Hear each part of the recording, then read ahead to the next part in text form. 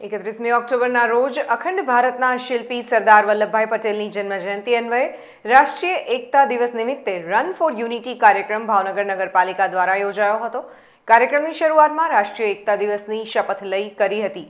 એક ભારત શ્રેષ્ઠ ભારત થીમ હેઠળ રન ફોર યુનિટી કાર્યક્રમનો route Atabhai Chowk, Sanskar Mandal, Vadodariya park Wellington circle central salt બાદ આતાભાઈ ચોકે કાર્યક્રમની પૂર્ણાહુતિ થયેલ હતી.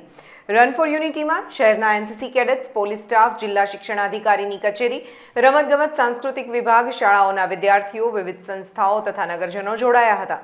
આ તકે ધારાસભ્ય Sejalben Rajivbhai Pandya mayor Bharatbhai Barad standing chairman Rajubhai Rabadiya deputy mayor Monaben Parekh જિલ્લા collector R K Mehta municipal commissioner N V Upadhyay police અધિક્ષક ડોક્ટર હર્ષદ પટેલ નિવાસી અધિક કલેક્ટર બીજે પટેલ સહિતના અધિકારીઓ ઉપસ્થિત રહ્યા હતા.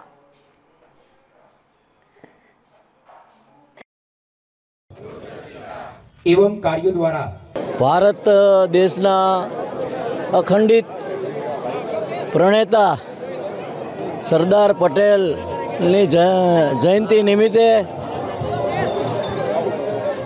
આજે ભાવનગર મહાનગરપાલિકા દ્વારા તમામ સંસ્થા, તમામ સ્પોર્ટ્સના યુનિયનો તેમજ ભાવનગરના તમામ રહીશો